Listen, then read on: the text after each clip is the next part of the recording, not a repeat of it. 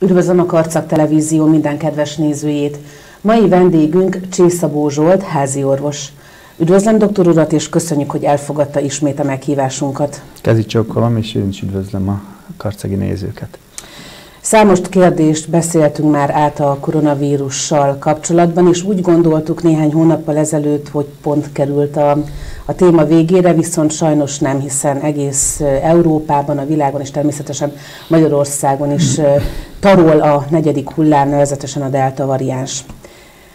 Mi okozza ezt a nagy arányú megbetegedést? Kezdjük az elején. Milyen tüneteket tapasztalhat az magán, aki a delta variánssal fertőződik meg? Sajnos tényleg ezt kell, hogy mondjuk, hogy ez a, ez a vírus, ez a koronavírus, ez itt van velünk még most is, és hát sajnos még mindig tartogat meglepetéseket a számunkra, azt kell, hogy lássuk.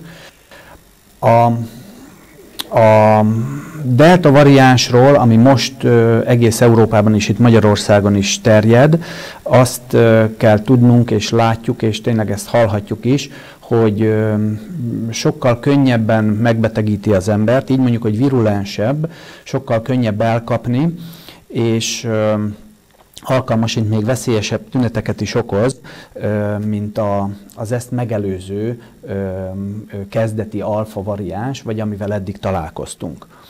A tüneteket illetően is változott a, a korábbi hullámokhoz képest. Addig, amíg az előző hullámban szinte kivétel nélkül, de nagyon nagy számban azt elmondhatjuk, hogy az íz és a szaglás változása, elvesztése az egy nagyon jó korjelző volt, és szinte biztosak lehetünk benne, aki ezt erről panaszkodott, hogy akkor ez a, megfertőződött a vírussal.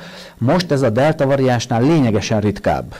Szerteágazóbbak a tünetek, elsősorban ilyen általános tünetekkel jönnek be, vagy jelentkeznek a betegek, hogy fejfájás, szédülés, hányinger, szemégés, illetve természetesen a köhögés, a tüsszögés, az orfolyás, ordugulás, hőemelkedés, láz.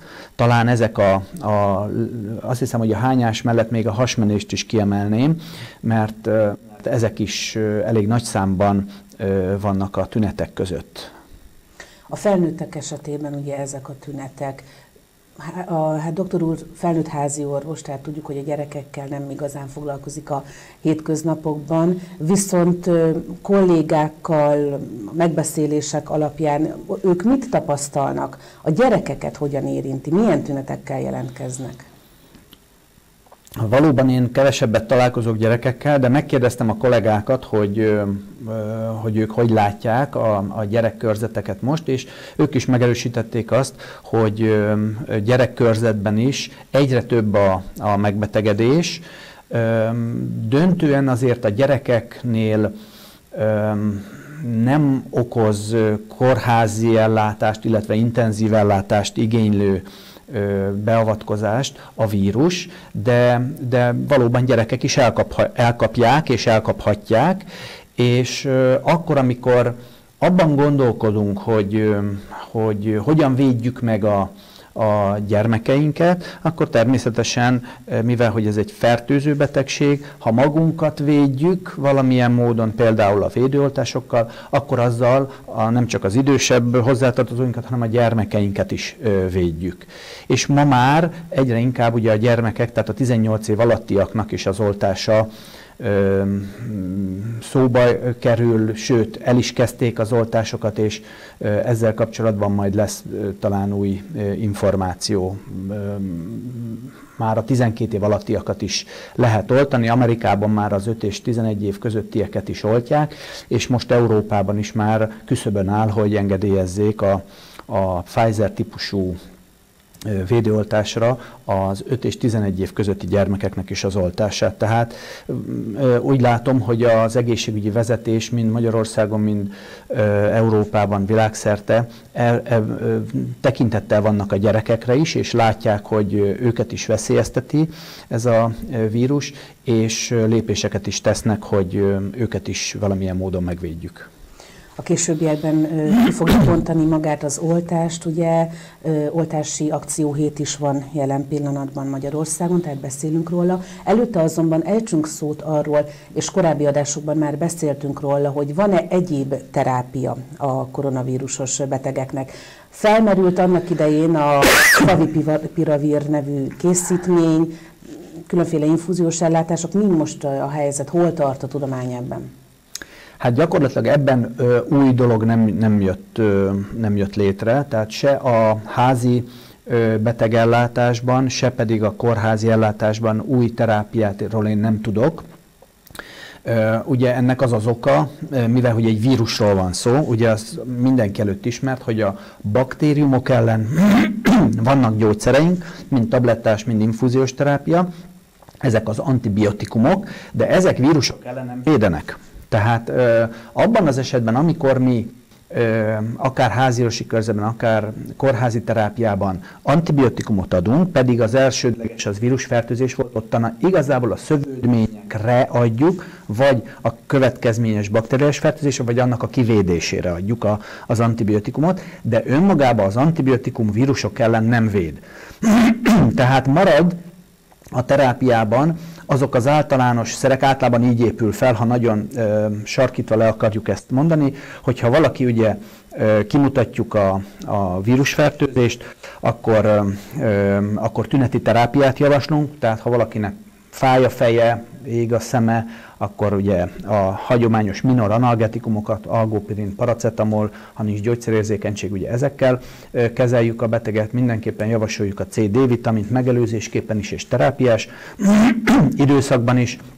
Ha valakinek hányingere van, akkor ugye a hányinger csillapítók, B6-ot például, a hasmenéses korképeknél is a hagyományos tüneti terápiákat, hogyha amikor kimutatjuk a vírust, most már ugyan lehet a, a tünetre is a favipiravírt felírni, tehát hogyha mi gyanút, nem kell, hogy megvárjuk, hogy, hogy ki is mutassuk a vírust, de azért azt kell, hogy mondjuk, hogy az orvosi gyakorlatban azért csak megvárjuk, hogy, hogy igazolódjon a, a koronavírus fertőzés, akkor a favipiravir terápia, az már tablettás és otthoni készítmény, háziorvos is kiírhatja, ezt friss fertőzésnél érdemes adni, mert ugye ez a vírusnak a szaporodását gátolja.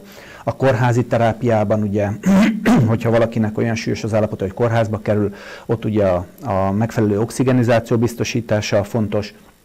Ez a infúziós terápia, a bamlanivimab, ez ugye a, egyfajta ilyen antitest terápia, tehát a szervezetnek egy aktív segítséget ad és hogyha ez sem elég, akkor jön ugye az intenzív terápia, ott pedig minden keringés, légzés, támogatás, ott már minden palettát, mindent bevetünk, hogy megmentsük a, a betegek életét. És elérkeztünk az oltásokhoz, az oltások fontosságához. Hívjuk erre külön föl a figyelmet, és mondjuk is el róla a tapasztalatokat. Igen, egyre gyűlnek a tapasztalatok, tehát tényleg most már, most már, hogy velünk van ez a vírus ugye legalább másfél éve, és az oltások is már tavaly december, év decemberében, tehát egy éve lassan elkezdődtek, így aztán már vannak is tapasztalatok az oltásokról. Hát önmagában a védőoltások azok már bizonyítottak, évtizedek óta velünk vannak, és védenek bennünket, tehát azt tudtuk, hogy a védőoltás, hogyha a, ha rendelkezésre áll, az mindig ö, dolgozik, és véd, és hat. a koronavírus elleni védőoltással sincs ez másképpen. Tehát minden fajta védőoltás, ami jelenleg forgalomban van, az véd bennünket. A tapasztalatok annyiban jutottak előre, vagy annyival tudunk többet mondani, hogy, hogy most már vannak fél éves, 8 hónapos, vagy, vagy 8-10 hónapos tapasztalatok is a védőoltásokkal kapcsolatban. Természetesen a háttérben a tudósok vizsgálják azt, hogy mennyire hatékony a védőoltás, illetve milyen hosszú ideig tart a hatása, a védőhatása, mert a különböző védőoltásoknak különböző módon a hatása. Az elején, amikor jósoltuk volna, akkor még azt mondtuk volna, hogyha csak az alfa variáns maradt volna, hogy akkor az évekig ö, esetleg védelmet biztosít. Ez, erre vágytunk, vagy, vagy, vagy ugye ezt jósoltuk. Most már azt látjuk, hogy, hogy ez nem így van, hanem körülbelül fél év alatt, tehát hat hónappal a második védőoltás beadása után mintegy 40%-ra csökken a szervezetnek a védekező képessége a, a vírussal szemben. Ennek nem csak az az oka, hogy, hogy csökken, ha nem találkozunk addig a vírussal, akkor csökken az ellenanyag szintünk, hanem az is, hogy a vírus mutálódott. És ez a, ez a delta variáns, ez sokkal könnyebben megbetegíti a szervezetet, mint egyébként, gyorsabban el tud szaporodni, és ezáltal tulajdonképpen 6 hónap után, a második védőoltás után 6 hónappal javasoljuk mindenkinek a harmadik oltásnak a felvételét, azért, hogy az immunrendszert megint egy olyan állapotba hozzuk, hogy, hogy tényleg valóságos védelmet jelentsen a szervezetnek, és fölkészülünk arra, sajnos azt kell, hogy mondjuk, hogy velünk lesz ez a védőoltás, nincs esély arra, hogy bárki is ezt elkerülje, hogy találkozzon a vírussal, és sajnos már hallunk híreket, hogy a további mutációk is vannak, amik még rosszabbak és virulensebb delta plusz variánsról is hallunk már, tehát arra kell fölkészülni, hogy, hogy igenis a, a szervezetünket föl kell készíteni a vírussal való találkozásra. Az, hogyha megkapjuk a vírust, a, a, a védőoltást, az természetesen véd, de nem az ellen véd, hogy ne telepedjenek meg a vírus, hanem az, hogy ne legyenek súlyos tüneteink. Jelenleg is azt tudjuk mondani, százalékosan is tudjuk már mondani, hogy a e, kórházba került betegeknek a 85-90 százaléka a nem oltott e, csapatból kerül ki, tehát akik nem oltatták be eddig magukat, és csak nagyon kis százaléka az, 10 15% akik valamilyen oltást már kaptak. Még markánsabb az eltérés az intenzív osztályon lévő betegek kapcsán. Kezdetben szinte 100%-ban oltatlanok voltak, most egy-kettő oltott már van, elenyésző számban, de mindenképpen azt jelzi, hogy az oltottak és a nem oltottak között lényeges különbség van a következményeket illetően. Mindannyian találkozunk vele, de a következményeket illetően lényeges a különbség, a kórházba kerülés 9 az egy arány, az intenzív osztályra kerülés pedig 90 az a, a, a, a 10-hez talán, vagy, vagy még, még elenyésző, nagyon pici. Az oltásokkal kapcsolatban ötféle oltóanyag volt Magyarországon, amikor kezdődött ugyebár az oltakozás, hogy így fogalmazunk. Most már vannak olyan oltóanyagok, amelyek jelen pillanatban nem biztos, hogy elérhetőek, és sokan kérik nyilvánvalóan a harmadik oltást. Mi ö, akkor a helyzet, hogyha valaki az első két oltásra egy ugyanolyan féle vakcinát kapott, most viszont mást ajánlanak neki? Hogyan hat ez a szervezetre, okozhat-e valamiféle mellékhatást esetleg? Mi a tapasztalat erről? Um, valóban beszéltünk már róla, hogy ha most felelevenítésképpen talán annyit elmondok, hogy ugye típusát tekintve három típusú oltóanyag van. A leghagyományosabb az a kínai ö, ö, oltóanyag, az olyasmi, mint a régi influenza vír, elleni vírus, meg, meg nagyon Ez egy régi előtt vírust tartalmaz, de a teljes vírus benne van, csak ö, egyik se él. És ez ellen beadjuk a szervezetbe, és ellenanyagok képződnek. A második típus, ez már egy új ö, fejlesztés, ez a vektor vakcinák. Ide tartozik a Sputnik, az AstraZeneca és a Janssen. Ezeknél ugye egy, egy, egy másik betegséget nem okozó adenovírushoz kötik hozzá a koronavírus elleni hát tulajdonképpen csak a, a gén szakaszt, és a, az, ez, ezáltal ö, okoz a szervezetben egy immunválaszt. A harmadik, az pedig csak a messenger RNS-t tartalmazza, csak a, a, a kódolt génszakasz tartalmaz, nincs mellette semmi vírus, adenovírus, vívőanyag, csak egy kis zsír, lipidburokba belerakják, és ezt beadják a szervezetbe, és ezen ellen ö, a megtermelődött tüskefehérje ellen képződnek ellenanyagok. Na most a, Azért érdemes ezt látni, ezt a három típust így külön, mert vektorvakcinákat nem adunk már harmadik oltásnak, ha vektorvakcinát kapott a, a, a beteg elsőnek. Tehát aki Asztrát, Sputnikot vagy Janssen kapott elsőnek, azoknak nem szoktunk adni a hát ugye Janssennél második oltás, de most így mondom, hogy a harmadik oltást, ismétlő oltást már nem adunk ugyanabból, mert az adenovírus miatt, ami vívő vírus, az ellen is képződnek ellenjogok, és a szervezetben nem marad elég sokáig ott.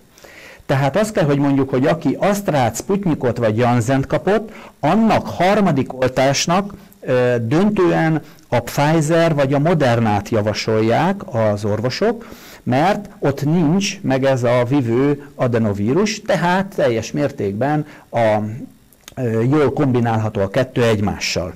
Ha valaki ö, ö, Sinopharmot, a kínait kapta első két oltásnak, annak is javaslat szerint a Pfizer-t vagy a Modernát adjuk ö, ö, harmadik ö, oltásként, Ugyanakkor, aki első két oltásnak a Pfizer-t vagy a Modernát kapta, azt lehet adni harmadiknak is, vagy pedig lehet adni a kínait is harmadiknak, mert az is egy másik típusú védettséget csinál. Én például ezt választottam. Tehát én ugye januárban, amikor megkaptam a, az első két oltásomat, Pfizer-t, akkor még csak az volt, Utána ugye eltelt már ez a 6-8 hónap, és én a harmadik oltásnak a kínai oltást vettem föl, mert az egy másik típusú, teljes ö, ö, vírust tartalmaz, és ez a fajta ö, váltás, ez én azt gondolom, egyébként is jót gondolok a kínai oltásról, de az, hogy ez a váltással egy másik típusú védettséget is biztosítottam a szervezetemnek. Tehát én ezt választottam. Akik óckodtak annak idején a kínaitól, azoknak megvan a lehetősége, hogy a harmadik is Pfizer legyen például. Azt kell, hogy mondjuk, hogy a legtöbb betegségre, meg ugye fiataloknak is a Pfizer adható, tehát döntő többségében én azt gondolom, hogy a Pfizer-t adják be most a kórházakba, vagy mi is ma is oltunk a rendelőben. A kérdésére válaszolva, ami oltóanyag viszont nincs, mert már nem jött be, elfogyott és nem jön be több az országba, az a Sputnik, az orosz típusú, de azokat úgyse ismételnénk harmadiknak. Tehát most igazából a többi még első oltásnak elérhető, aki Asztrát vagy Janzen szeretne, és most venné fel az első adagokat, azoknak ez rendelkezésre áll, de már Sputnik se alapoltásra, se harmadik oltásra nem áll rendelkezésre. Mi a helyzet a nyáimmunitással? Kialakulhat-e? Ugye sokat hallunk róla. Hát, azt kell, hogy mondjam, hogy ne, nem reális cél. Ugye egyre inkább azt mondják, hogy nem elég a nyáimmunitáshoz 60-80 százalék, inkább 90 százalék átoltottság kellene, és ez akkor volna ö, ö, hatékony, vagy akkor volna elérhető, hogyha nem mutálódna állandóan a vírus. És jelenleg azt látjuk, hogy a mutációkból nyilván nem azok a mutációk kezdenek el terjedni, amik gyengébbek, mint az előző, hanem azok nyernek teret, amelyiknek erősebb a virul, virulensebbek. És, és most már ugye halljuk, hogy ennek a delta vírus is, ami meg mindig fölfele futó ágban van, lassan a stagnálás, tehát elérjük lassan a csúcspontot, de még nem tartunk ott, ezután már jönni fog a delta plusz. Tehát azt kell, hogy mondjuk, hogy, hogy az a fajta nyáimmunitás, hogy lepattan rólunk a vírus, olyan az, az, az, az nem, a közeljövőben semmiképpen sem várható. Amíg valami nagy ö, csoda ö, gyógyszert ki nem találnak, addig, ö, addig ez, ö, én erre nem számítok. Én erre nem számítok, tehát marad az a védekezés, ami eddig is volt, hogy ö, mindenkinek javasoljuk, hogy aki védekezni akar bármi módon is ez ellen, és ennek több oka lehet. Nem csak az, hogy magunkat megvédjük, hanem, hanem beszélünk ugye erről a úgynevezett fészek immunitásról, hogy mit viszünk haza. Tehát úgy is lehet védeni a saját idős ö, szeretteinket, hogy magunkat beoltatjuk, és mindenkit beoltatunk a közelükbe, azért, hogy mi is minél kevésbé vihessük haza a, a, a kórokozót, a vírust. Átoltottság tekintetében van-e arra adat, hogy Karcagon a városunkban mennyien vannak beoltva? A lakosság hány százaléka? Hát egy ilyen átlagos statisztikát tudok mondani, sajnos egy picivel rosszabb, mint az országos átlag. A, az országos átlag az olyan 60% körül van, ugye ezt halljuk a tévében, most már egy picivel, az első oltást már több mint 6 millióan fölvették, tehát 60% fölött van de Karcag és környékén én úgy tudom, hogy csak 50%-ot éppen, hogy meghaladjuk. Tehát egy picivel rosszabb az átoltottsága ennek a környéknek, mint az országos átlag. Tehát van még mit előre menjünk ezzel a folyamaton, és talán nem haszontalan, hogy így most a, a tévébe is elmondjuk, hogy, hogy javasoljuk mindenkinek, hogy vegye fel az oltást bármilyen megfontolásból, de nincs más választás. Doktor úr szerint mi a jövő a vírus tekintetében? Beszéltünk most a Delta plusz variánsról, ami vár ránk minden bizonyal. lehet -e esetleg jóslásokba egy adásalkalmakor sem bonyolultunk, viszont mikor lehet ennek vége? Mikor érheti azt a állapotot el, amikor a védőoltásokat is ugye nyilván még tovább fejlesztik, talán még hatékonyabbak tudnak lenni, talán hosszabb ideig tudnak védettséget adni. Mit gondol? Hát már előre bocsátom, hogy erre biztosat nem fogok tudni mondani senkinek, mert egyelőre ugye egy másfél éves történetről van szó, egy, egy új típusú olyan világjárványjal van dolgunk, ami, ami mindenképpen egy egy, egy nagy feladat elé állította a, a, az embereket és a tudósokat, hogy hogyan tudunk ellene védekezni. Jelenleg ugye azt el tudjuk mondani, hogy, hogy, hogy könnyen mutálódik ez a vírus. Ugye egy, egy éve van itt, vagy másfél éve van itt velünk a vírus, és ez alatt már négy-öt fajta ö, ö, olyan mutációt tudtunk kimutatni, ami egyre ö, virulensebb, egyre jobban fertőz. Tehát az biztos, hogy a, a közeljövőben, a következő fél évben, egy évben még biztos, hogy itt lesz velünk ez a vírus, de hogy lesz-e valami olyan, mint ami korábban a, például az influenza vírusnál, hogy előre megjósolják azt a vírusnak ezt a szerkezetét, legyártják, mert ugye az influenza vírusnál ez van, hogy előre megvan, ö, látják, hogy mi az, ami most terjed, legyártják a, az influenza elleni védőoltásokat, októberre megkapjuk, és amikor ideér a vírus december-január tájékán, akkor már, aki beoltatta magát, annak van egyfajta védettsége. Ez, ez, a, ez az optimális.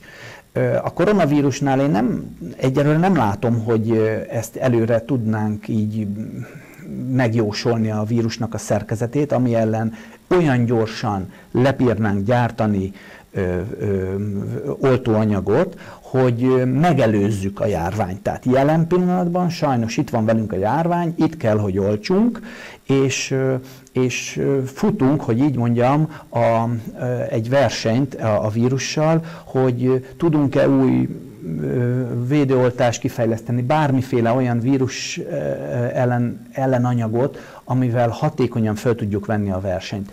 Tehát hosszú távon én azt gondolom, hogy rövid távon és középtávon szerintem velünk lesz ez a vírus. Sajnos. Doktor úr, köszönöm az interjút, és várjuk vissza legközelebb is. Nagyon szívesen örültem, hogy itt lettem.